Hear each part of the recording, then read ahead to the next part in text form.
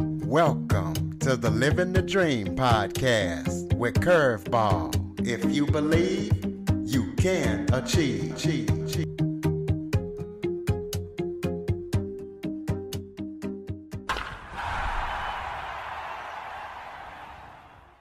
Welcome to the Living the Dream with Curveball podcast, a show where I interview guests that teach, motivate, and inspire.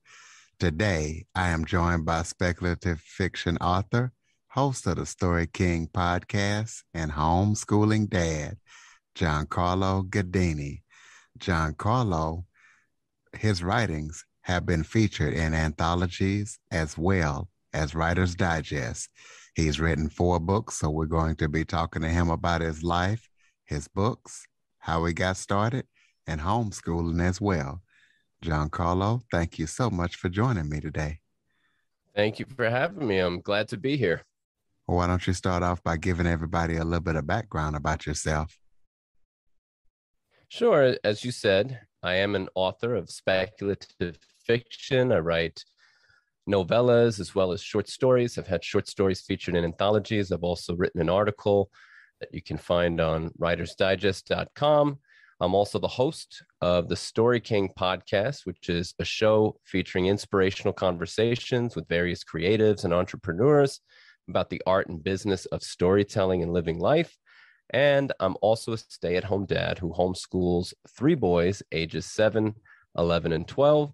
And so far, I have four books to my credit, three of them available on Amazon, and another one exclusively on my website, storykingbooks.com. Well, tell us what a speculative fiction author is. Sure. So the term speculative just means anything that's fantasy or sci-fi ish, right? So so that it's kind of an umbrella term for it could be fairy tales, it could be sci-fi, it could be fantasy like Lord of the Rings, anything that's not really in the real world that you can pinpoint into the real world would be speculative fiction. So I like to think of my stories as sort of like fantasy parables. There's always some type of parabolic element to my stories. And that's basically how how to describe speculative fiction. So mostly I'm a short story writer. So I just released a, uh, my first collection of short stories called Massimo's Mirror and Other Stories but I have two books that I consider novellas. Novellas are just short novels, novelettes, some people call them. And that's one is called Darren DeLuza and the Devil, and the other is called Cain's Confession. And again, both of these have very speculative aspects to them.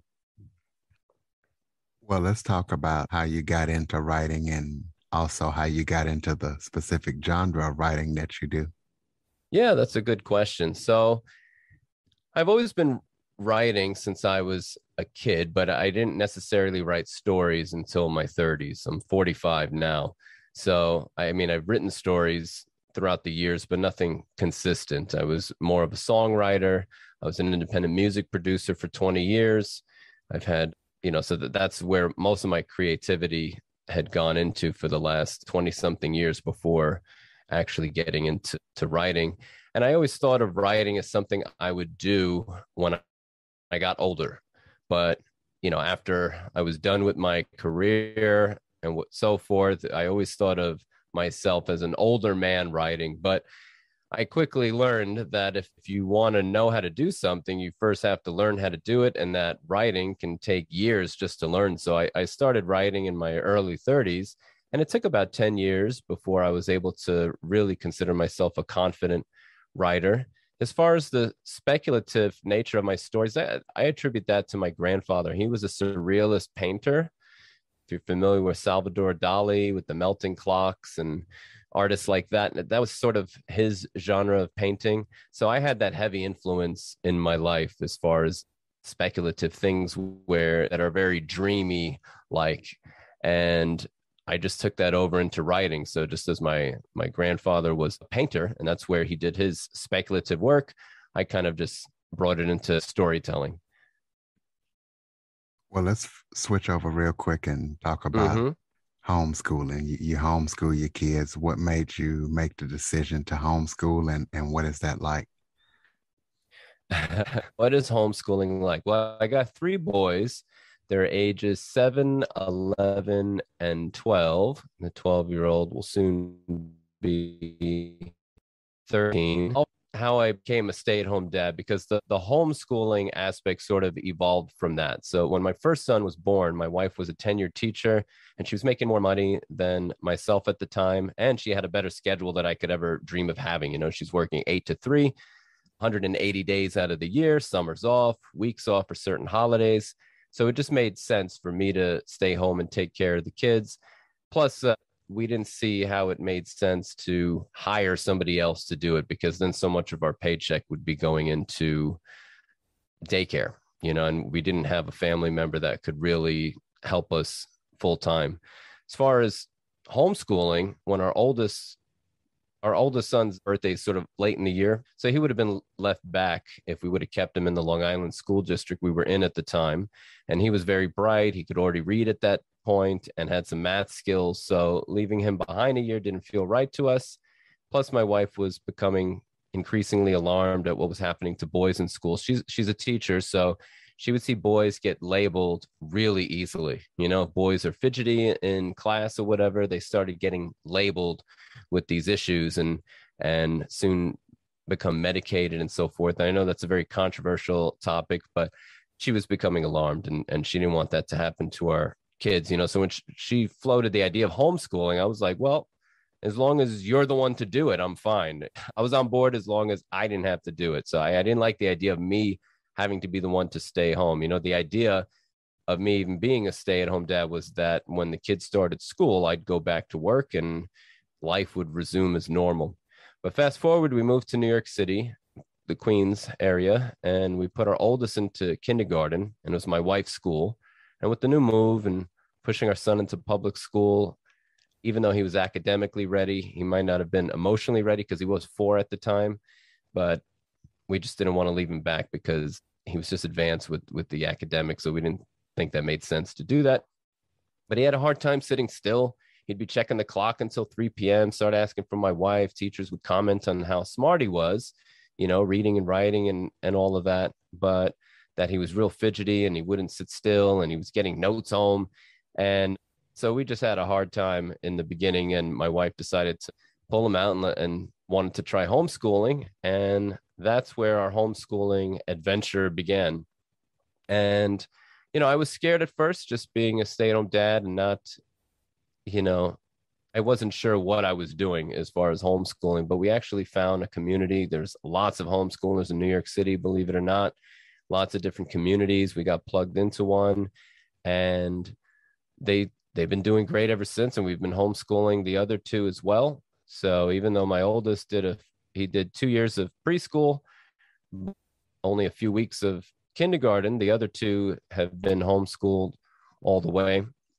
And yeah, we found wonderful communities. They've been doing public presentations. They they've done field trips to museums. And there was a place called the Center for Architecture Foundation one time in Greenwich Village where they would did certain classes every month, chess classes, sports, and we, and we found that we were able to really sort of curate our children's education. That's what we love most about homeschooling, that it's sort of a curated education. If the kids are behind in a certain area, you can take the time and catch them up. If they're advanced in a certain area, you can sort of go go to the next level where maybe in public school we wouldn't have those those options so so it's it's been a great thing and and I've learned to love it as well so I'm totally on board now with it and we've been doing it for several years and we have and we've plugged we've been plugged into one community called classical conversations it sort of takes a classical model to education and so we have we kind of mix curriculums there as far as having a little bit of a classical education where they study a little bit of all the subjects, including Latin and geography. And then we mix it with some more modern elements as well. So that's where we're at. So give people some advice and tips, those who might be listening that are interested in getting started in homeschool. How does it work and, and what do you need to do to be able to do that? Mm-hmm. The best thing I could tell people is to uh, Google homeschooling communities in your area. because they're going to be your lifeblood. You know, a lot of people think like, oh, I, you know, homeschooling means my kids are just home with me all day. And that's not necessarily the case. That may be more true than if your kids were in public school. They'll certainly be at home with you more than not. But if you get plugged into a community, you'll find that there'll be days where several days will where they'll be with their peers and other kids you know the community we belong to now i mean there's there's there's like 40 kids there you know so it's not like they're just by themselves all the time so that's one thing you know another thing homeschooling definitely isn't for everybody and it generally takes some type of sacrifice in terms of finances it generally it doesn't have to but it generally takes one income you know, because the other person has to be there to to do the homeschooling. There are ways around that, you know, whether you have a night thing or a weekend job. So that's uh, going to be different for every family, but but it is going to you do have to navigate those different issues, those financial issues, because it is a different life. So it's not for everybody, but if you are curious about it, the best thing I could t- tell you to do is look up a homeschooling community in your area, reach out to them and try to get plugged in. And you'll find that there are several communities. So you may want to contact a few of them and then see which one feels right and, and get, pl- and get plugged into one of them. Well, this next question is a two part question. The first question is when you pull your kids out of the school district, is there something you have to sign or, or let them know? Because I know when you're in public school that you have to you can't miss so many days so what do you mm-hmm. need to do to do that and the second part is does homeschooling cost anything or what are the costs associated with homeschooling okay that's a great question great two part question so the first thing is you know every district's going to be different so some states are just going to be different so i'm speaking about new york so that's where i'm from and yes you have to let the district know that you have to send a letter of intent saying that I intend to homeschool my child. This is for the state of New York. So every district, you have to look up what the requirement is for your district and your state where you live. But even within your state, every district might have its own different requirements. So you have to look up what those requirements are, and they will be available, you know, online for you to look up. To look up. So as far as New York, New York City, letter of intent, you have to say you intend to do this. You have to also send them four quarterly reports of how they're doing. You have to get your curriculum approved. And all this sounds more daunting than it actually is. That's one of the reasons why you want to get plugged into a community because they'll they'll say, "Oh, use this uh, template and you just fill in the blanks with the templates." You know, when you get plugged into a homeschooling community, there'll be other people to help you with all that paperwork, you know, and and and how to navigate it. You know, we just moved to Tennessee and it's it's very different here. So over here they have you can either tell the school district you're homeschooling or you could be part of like an umbrella school where different homeschooling communities actually become the school and that they report to the state for you. So every state's different. So you have to look up those requirements. As far as costs, you know this is this is a, a, tricky thing about homeschooling so homeschooling itself I, I would say doesn't cost money but certain communities that you belong to will have certain costs like classical conversations that has you know certain costs that's going to be dependent on on where you are or whatever but they have certain fees. They have tutors that teach the kids and certain supply fees and so forth. You know and also anything you do kind of is going to be kind of out of pocket you know you're nobody the state's not giving you any money you know to homeschool that's for sure so anything you want to go to whether it's museums or whatever you know that that is going to be an out of pocket expense. So those are things that you have to think about and navigate. But again homeschooling community get plugged into one. They'll walk you through the necessary paperwork. And and also it's just good to to reach out to other homeschoolers that have been doing it for a while and they'll tell you you know what kind of expenses there are that they incur and so forth. So does that answer your question it definitely does answer my question now i got a, another two part question to throw at you mm-hmm. first part is j- just in case people go back into some lockdowns again mm-hmm. how how mm-hmm. did covid-19 affect homeschooling and the get-togethers that you talk about? And the second part is, do you do like a graduation or get some kind of diploma or certificate, just like you do in regular school once you're done? Right. That's a great question. So I would say the the lockdowns didn't affect the homeschooling communities as much and as profoundly as it did the public schoolers. I think it was more of a shock for the public schoolers who are used to, you know, congregating every day with with their peers. However, it did did still affect us. Like last year, for instance, I didn't belong to our normal homeschooling group. I, I'd skipped that year because they were just doing everything through Zoom, just like the public schools. And I just, I couldn't do it. You know, it was, I hate Zoom school.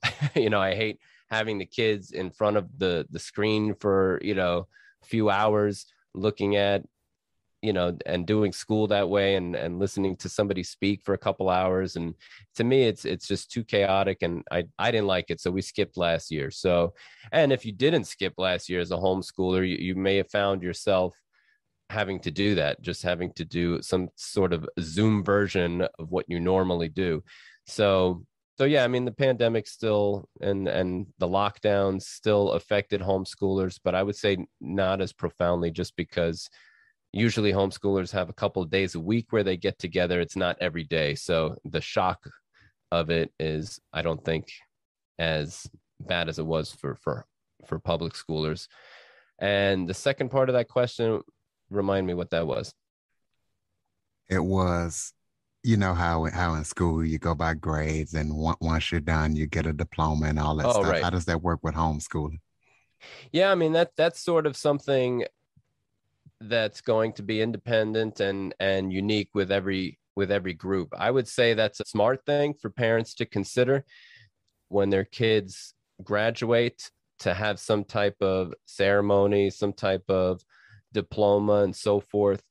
I would imagine you might get some type of certificate if you're homeschooling with within the public school system like i said like in tennessee you have the option of you know registering with the public school district and which by the way in tennessee if you do that you're also allowed to play on the the sports teams for the, the public school sports team. So even though you're homeschooling if you're doing everything through the public school system you can actually join you know the football team the baseball team all that stuff. So you can't if you're under one of the umbrella schools that that are just like a homeschooling community that's taking care of that stuff. So again every state is a little different. And again my kids are young so i'm not there yet as far as the diploma but i've heard of other homeschoolers who have you know created diplomas or whatever to give to their kids. As far as certain states and districts just sending them out when the kids are old enough and when they've proven that they've graduated whether it's by testing or just uh, finishing out their uh, school career. I'm not sure if some school districts will automatically give out a diploma. That's something that i think every homeschooler should research dependent on the area they live well, I was thinking more of, you know, proof of for college, you gotta, you know, have your diploma, your transcripts, all this good stuff to be able to get into college. So was just kind of curious of how a homeschooler can get proof so they can get into college and get scholarships and stuff. Yeah, well, they should still be taking their tests, you know. I mean, some people there there's some areas where and some groups where they don't like uh, going through the testing and so forth, but I like I like I like the, our kids doing the the state tests. I know in New York they give you an option of like seven different state tests. You could take the CAT, you could take the New York test, the Stanford, all these different tests that you can take, and you're supposed to be taking them every other year. So you're still getting that proof of of academic performance as as you go along with the state testing, and of course you're submitting quarterly reports showing how the kids are doing and and so forth. So so there will be that that that academic performance. And a lot of colleges too will have admittance tests too that that kids can take. So there's a lot of colleges that are open by the way to, to homeschoolers. So don't think that just because you homeschool you won't be able to get into college. A lot of colleges welcome homeschoolers. That's really up to the institution. So you have to think about what college you want. And if you're in you know, if you're in the beginning of high school and if child knows kind of the direction they want to go and you kind of know what school you want them to go i would start looking into that now you know so that you you know what's going to be required of your child to get into that to that school you know? So if they have a more rigorous thing to get into the college then you want to think about that and and not be too late with that yeah every institution is going to be a little different so you'll have to do some each parent will have to do some research based on uh, the school they want to go to and also where they uh, where they live and the, the rules for homeschooling.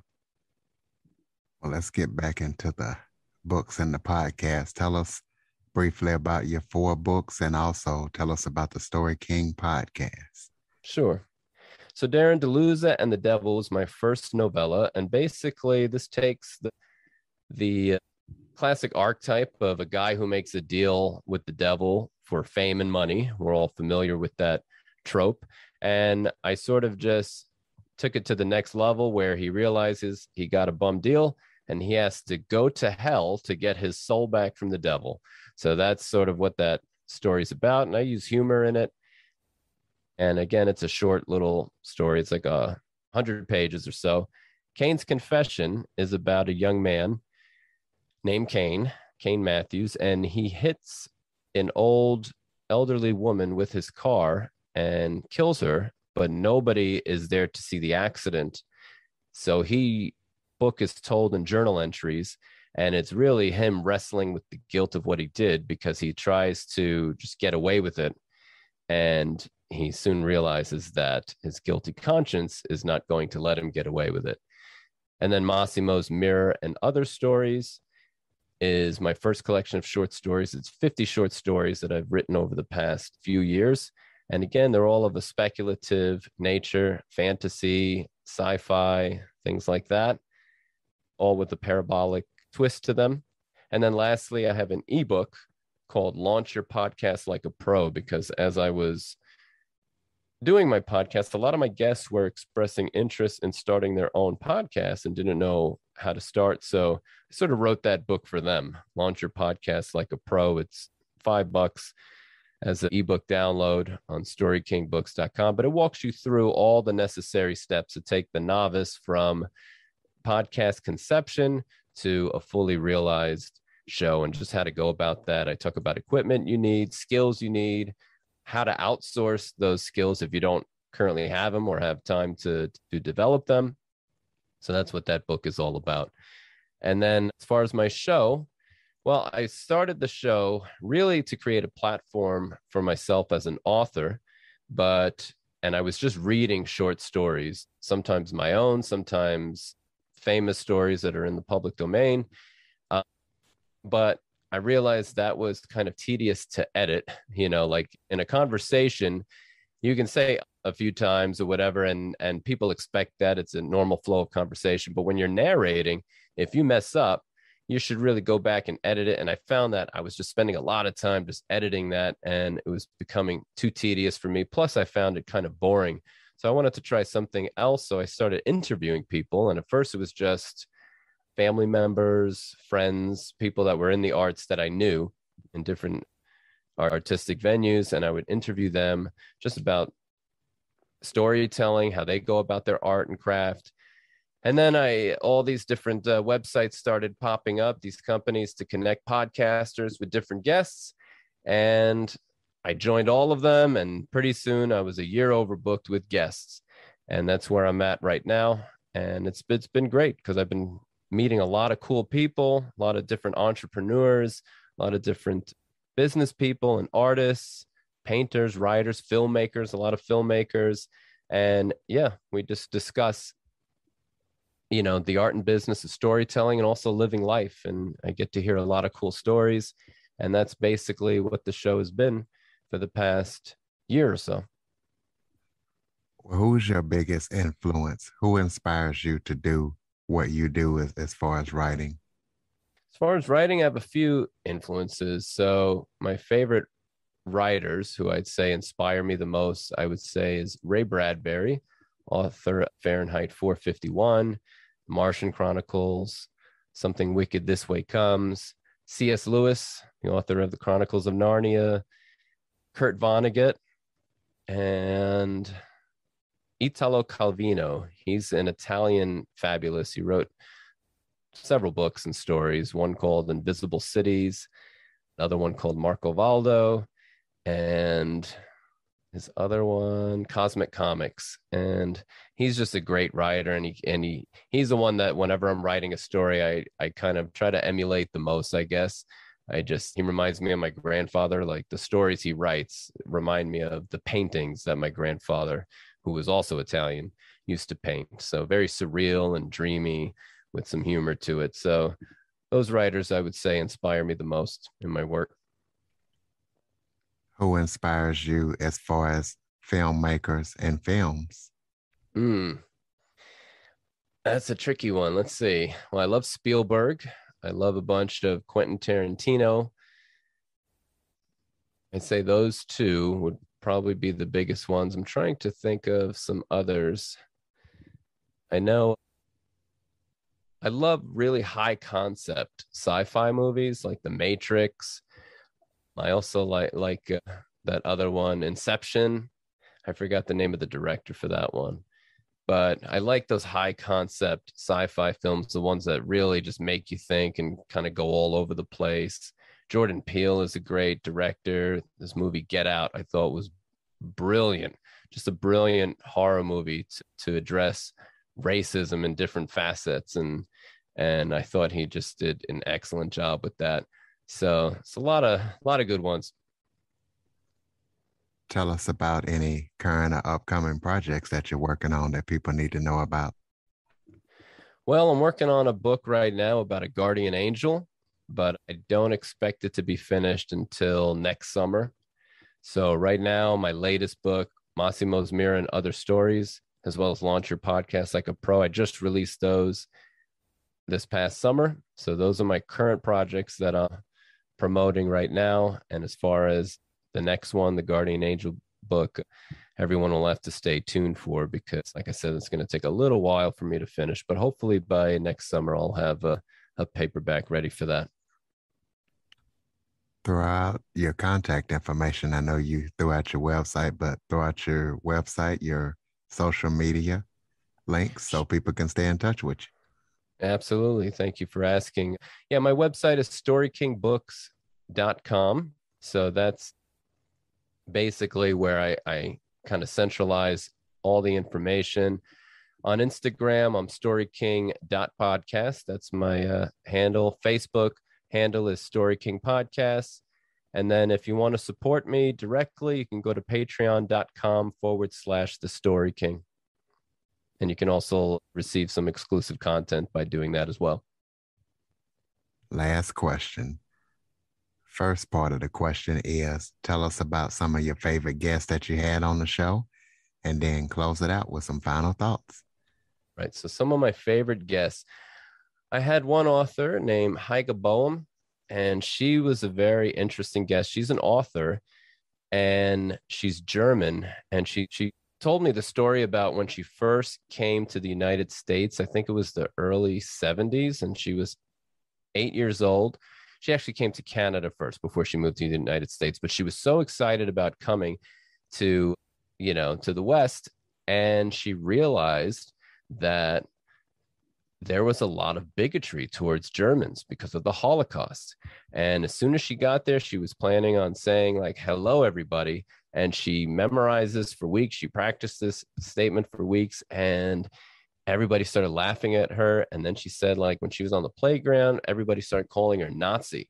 And she actually dealt with this for several years. And it, it was this traumatizing experience because, you know, she didn't know much about, you know, the whole history of it. And she wasn't associated with it. She was just German. She lived in Germany. So she had no idea that other countries were just associating all of Germany with the Holocaust. And it was a really interesting perspective because she was talking about German guilt and, and the guilt a lot of Germans have just just because of where they came from. And I never thought about that. You know, whenever you think about the Holocaust, you learn about the atrocities that happen and and you learn about the Nazis, you learn about the Jews, but you don't really learn too much about the aftermath of all that and and the prejudice that that people had to deal with just because they were german you know that's something you really don't hear too much about so to hear that she had to go through this as a little girl was kind of a, a learning experience so she was one of my favorite guests for sure and and she's written a book about two german boys that were in this hitler's nazi youth camp so to speak and how they become disillusioned with with their whole experience. So she was definitely one of my favorite guests, and and her story sort of just stuck out to me, you know. And let's see who else. I've had another one. I've also had Malika Johnson, who was who is film scout, and she worked on a lot of big movies in New York. And she talked about how just what goes what goes on in the filmmaking thing choosing a location and you know like some big superhero movies if they're going to have a scene in new york she's involved in a lot of that and where are they going to shoot it and so forth. So it's just it's just cool to learn that there's all different kinds of jobs in the film industry that that people have that you don't even think about but these are the people making the movie happen. And so it's a really neat neat perspective to hear that and what was your question after that? You got any final, final thoughts. thoughts for the audience before we close it out? Final thoughts. Well, I would say, as far as if you're an artist, if you're a writer, continue to write, continue to do your art, art because the world needs it, honestly. So make the time for it. Even if it's not making you a dime, make the time for your art because the world needs it and you need it as well. You need it as that outlet, that creative outlet. So don't let anything stop you from creating your art and having that creative outlet. And as far as homeschooling, if you're interested in homeschooling, don't be afraid of it. There are lots of people that are close to you that can demystify it for you. Just reach out to them. Just Google a homeschooling group in your area reach out to them and they will help demystify the whole process of homeschooling. It's not as scary as you think, and it's actually very rewarding and enriching. Absolutely. Like Giancarlo said, the world needs your art. Another thing that the world needs is for you to follow, rate, review, and share this episode to as many people as possible so they can get this encouraging message also, Android listeners, go to the Google Play Store and download the Living the Dream with Curveball podcast app. The story king himself, Giancarlo Ghedini. Thank you so much for joining me, Giancarlo. Thank you for having me on the show. I had a blast. For more information on the Living the Dream podcast, visit www.djcurveball.com. Until next time, stay focused on living the dream. dream.